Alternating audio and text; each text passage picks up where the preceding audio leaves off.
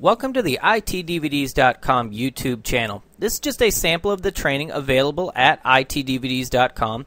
If you would like to see complete training, please go to itdvds.com. Now let's begin the sample. The Dynamic Host Configuration Protocol, or DHCP, is very important in the real world, and most likely we use it all the time. DHCP servers are responsible for dynamically assigning IP addresses and subnet masks to hosts that are configured to have their IP addresses assigned automatically.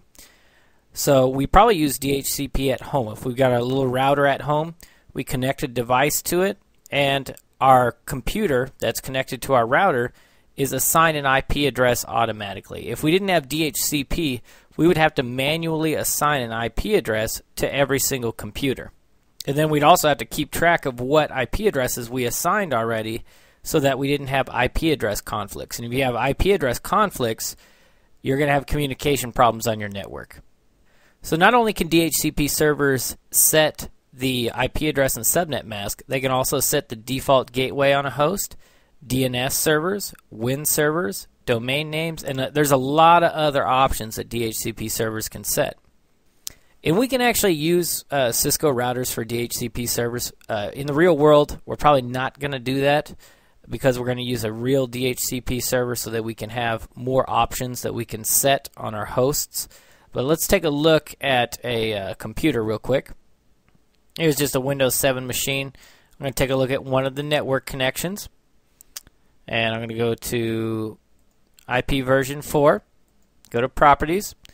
And if this was set to obtain an IP address automatically, then it would try to get its IP address from a DHCP server. And we'll see that exact process here in a second. And also notice there are DNS servers here. We could have that set to obtain DNS servers automatically as well, and then it would get the DNS servers, the preferred and the alternate, from the DHCP server, as well as the default gateway, assuming the DHCP server was configured to hand out that information. Now, on a DHCP server, an administrator will actually set a pool of IPs that can be handed out to the hosts. So it just doesn't randomly pick, pick IP addresses to give to your DHCP clients. We actually set that up, and we can even reserve IPs that are maybe part of a pool that say, hey, don't use these IPs because we've got these statically assigned to other hosts.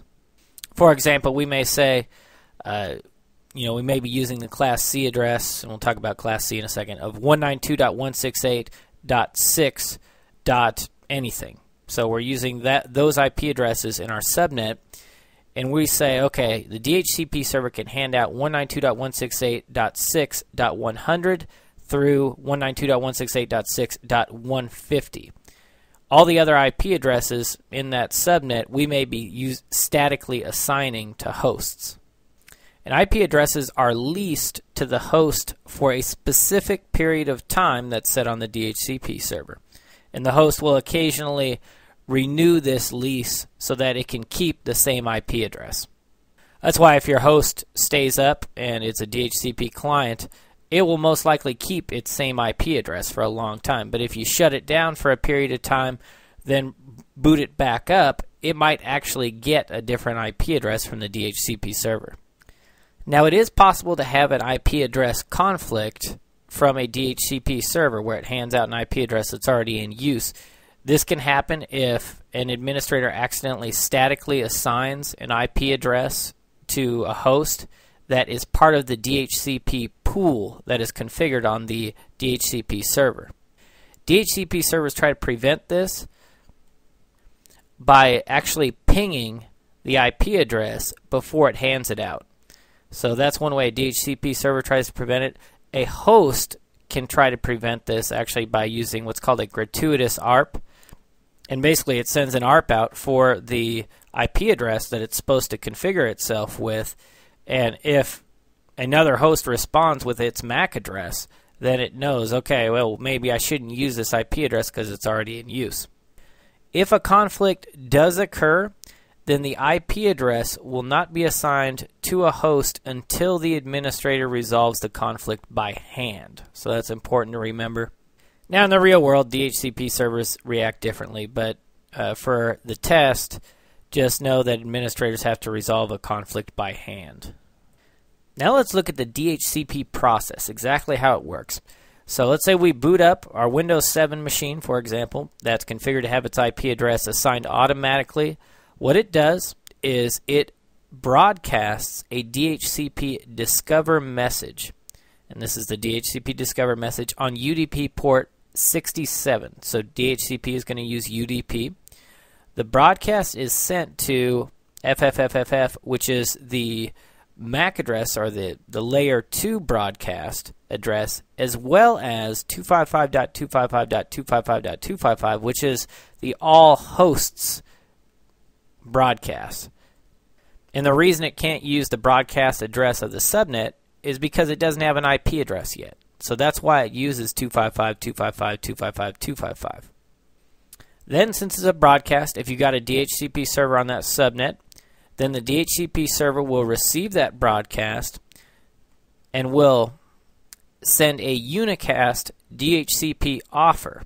So this is a DHCP offer, and unicast means it sends it directly to the host using the source MAC address from the frame of the broadcast that was sent by the host because it doesn't have an IP address yet.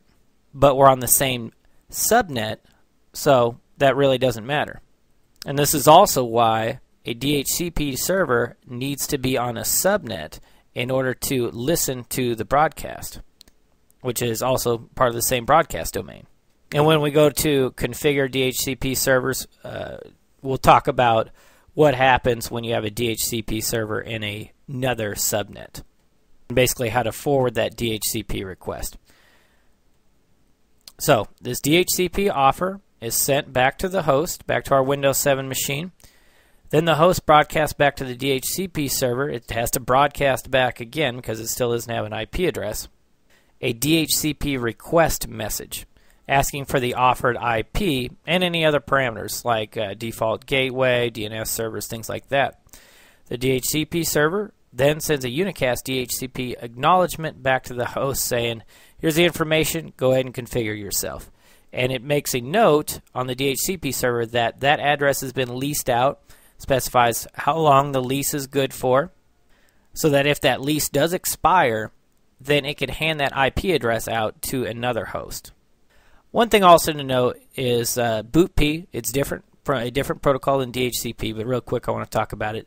It's like DHCP because BootP assigns IP addresses, but MAC addresses must be manually entered into what's called a BootP table, before it will assign the IP address. So this is normally just used when we're actually deploying operating systems because bootp can send an operating system that a host can boot from, and DHCP can't do that.